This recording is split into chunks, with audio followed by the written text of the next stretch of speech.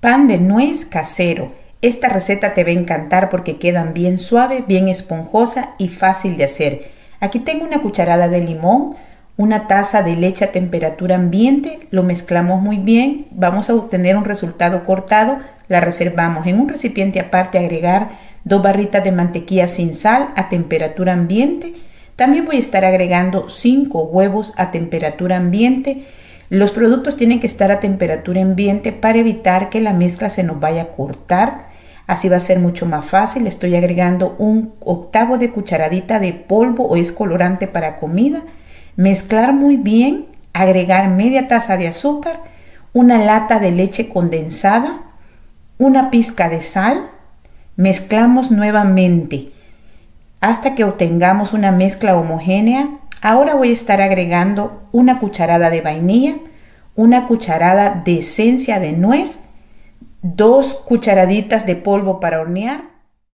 Para esta receta estoy utilizando tres tazas de harina todo uso o harina de trigo.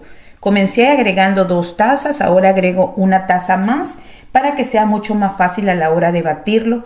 Estoy agregando la taza de leche que teníamos previamente preparada Mezclamos perfectamente hasta que no queden grumos. Esta es la textura bastante cremosa de la masa.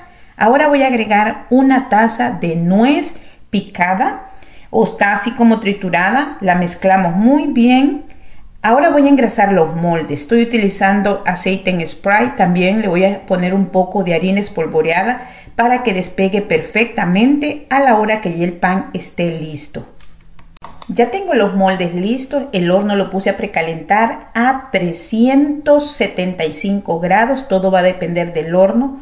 Ahora vamos a llenar los moldes que tengo un cuarto que les haga falta para llenarse para que a la hora que crezca el pan pues no se nos vaya a rebalsar. Aquí estoy agregando un poco de nuez picada también para decoración y para que se vea más antojable.